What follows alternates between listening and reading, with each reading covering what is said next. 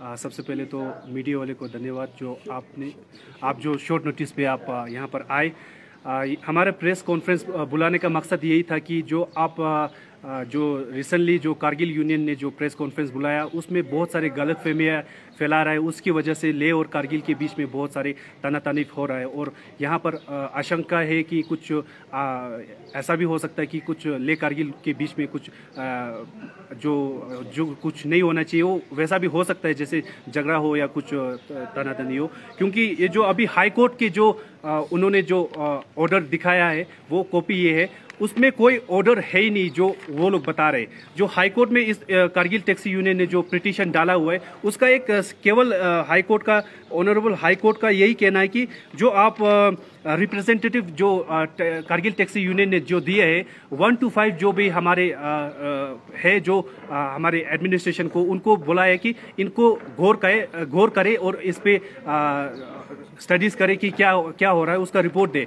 ऐसा कुछ है नहीं जो ऑर्डर इसमें वो लोग सेलिब्रेशन कर रहे हैं कि हमें ये मिल गया वो मिल गया हमें इन रूट जाने का ये परमिशन मिल गया कोई ऑर्डर मिल गया। ऐसा कुछ ऑर्डर इसमें नहीं है। ये गलत फहमी फैला रहे जो कारगिल के टैक्सी यूनियन जो है। और या वो लोग ये, ये चाहते हैं कि यहाँ पर बहुत शांति से माहौल बैठा हुआ है और टूरिज़्म अच्छा सेक्टर चल रहा है। हमारे यहाँ पर सब कुछ बिज़नेस अच्छा चल रहा है। वो उस माहौल को बिगाड़ना चाहता है। वो यहाँ पर आके तमाशा करना चाहता है। ये जो ले और कारगिल वासी यहाँ पर करना चाहते हैं। तो हम नहीं चाहते कि ऐसा कुछ हो। इसलिए हम आ, हम यही पब्लिक को ये आ, दिखा रहे हैं कि ये जो ऑर्डर है इसमें कुछ भी हाई को हाई कोर्ट ने कुछ ऑर्डर नहीं दिया है जो इन रूट उनको जाने की परमिशन कुछ नहीं दिया हुआ है। केवल एडमिनिस्ट्रेशन पे छोड़ा हुआ है। और दूसरा ये है कि जो वो लोग ये जो जो हमारे पाशा साहब और जो टैक्सी यूनियन के प्रेसिडेंट है, वो लोग ऐसे माहौल बना रहे कि कि वो लोग हाई कोर्ट से ऑर्डर लेके आए। बट ऐसा कुछ ऑर्डर नहीं है। और दूसरा ये कि जो मुझे मुझे ये लगता है कि उसमें कि ये टैक्सी यूनियन का कोई इशू नहीं है। वो मेलाफाइट इंटेंशन से ये सब कुछ कर रहा है। तो आपको, मैं दिखाना चाहता हूँ कि जैसे टैक्सी यूनियन और ले टैक्सी यूनियन और कारगिल टैक्सी यूनियन जो है वो दोनों म्यूचुअल अंडरस्टैंडिंग पे म्यूचुअल एग्रीमेंट पे चल रहा है। जैसे आप देख देख सकते हैं 2005 के ये 2005 के जो 2015 के जो एग्रीमेंट है इसमें साफ़ लिखा हुआ है कि आपका ले और कारगिल के दोनों टैक्सी यूनियन के प्रेसिडेंट का साइन है जनरल सेक्रेटरी का साइन है। इसमें लिखा हुआ है कि आप अपने अपने बिज़नेस में, अपने अपने डिस्ट्रिक्ट में बिज़नेस कर सकते हैं और आप इन रूट नहीं जा सकते और कहाँ कहाँ क्या कर सकते हैं, इसमें पूरा म्यूचुअल एग्रीमेंट चल रहा है। वो तब की ड्यूकोम साहब के अंडर में डीसी ले डीसी और कारगिल डिस्ट्रिक्ट के अंदर अंडर में ये सारा कुछ एग्रीमेंट हुआ है। तो इसी मुताबिक अभी तक चल रहे आगे भी हम आशा करते हैं कि उसी एग्रीमेंट के मुताबिक चले। केवल ये टैक्सी यूनियन का एग्रीमेंट नहीं है। यहाँ पर आपके आपके सामने ट्रक यूनियन का भी। बस यूनियन ये बस बस यूनियन का भी एग्रीमेंट है। जो कारगिल के बस यूनियन है और ले, के बस यूनियन के उस उन दोनों के बीच में जो एग्रीमेंट है कि केवल जो कारगिल के बस है जो कारगिल डिस्ट्रिक्ट में चलेंगे ले के बस है जो ले डिस्ट्रिक्ट में चलेंगे।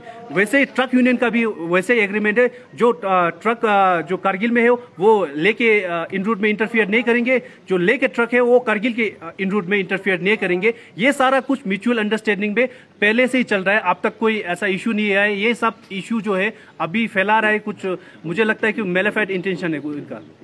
आप लोगों लेह टैक्स यूनियन का खासकर नेक्स्ट स्टेप अब क्या रहेगा? क्योंकि करगिल टैक्स यूनियन का बार बार इल्ज़ाम यही है कि परमिट होने के बावजूद जो है इनर रूट्स में जाने नहीं दे रहा है। और कल जिस तरह से हाई कोर्ट के ऑर्डर की बात की और इसको आप इस वक्त क्लियरिफिकेशन दे रहे हैं तो नेक्स्ट स्टेप आप उनका का क्या रहेगा? नहीं ऐसा है कि अभी तक जब से टैक्सी यूनियन बनाए तब से ये इन रूट नहीं चल रहे थे अभी भी नहीं चलेंगे क्योंकि आप देखो उनके पास कौन सा परमिट है? आप आप कह सकते हैं उनके पास सबके पास डिस्ट्रिक्ट परमिट है जो कारगिल डिस्ट्रिक्ट में चलेंगे। हमारे पास ले ले, ले डिस्ट्रिक्ट का परमिट है। केवल परमिट नहीं है। स्टेट का कोई भी परमिट नहीं है। जो पहले था वो अभी वो नहीं चल रहा है। वो अभी है भी नहीं क्योंकि हमारा जम्मू कश्मीर का रहा, रहा ही नहीं। एब्रोगेशन आर्टिकल थ्री उसके बाद तो स्टेट का रूल ही खत्म हो गया। तो हमारा यही है कि हम भी कोर्ट में जाएँगे। हमारा कोर्ट ऑनरेबल हाई कोर्ट में हमारा आ, ये जो आ, ये, हमारा रिप्रेजेंटेटिव जाएँगे और हम जो जो कोर्ट का मिस इंटरप्रेट कर रहे हैं उनके खिलाफ भी हम कोर्ट में जाएँगे। तो वो हम स्टेप उठाने वाले हैं। तो जिस तरह हमें सुनने में यह है कि सात टैक्सी जो है करगिल से यहाँ से निकला हुआ है। तो कल वो पंगोंग भी जा रहा है, नुबरा भी जा रहा है तो क्या कहेंगे? ये ये जो है उनका मतलब कि ऐसा इंटेंशन है कि ये ले वर्सेस कारगिल करने की कोशिश कर रहा हैं। ये नहीं चाहते कि अमन हो शांति हो यहाँ पर सब मिलजुल के रहे सब बिज़नेस करे। ये नहीं चाहते कि यहाँ के जो अमन शांति है उसको भंग करने के लिए आए। यहाँ के जो बिज़नेस है उनको ठप करने के लिए आए।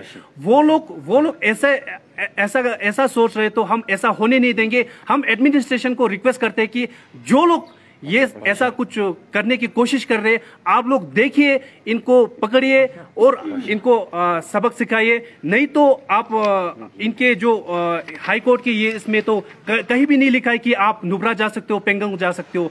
अगर इसमें कुछ भी लिखा होगा अभी ये जो है सब जुडिस है जु, जु, सब जुडिस है।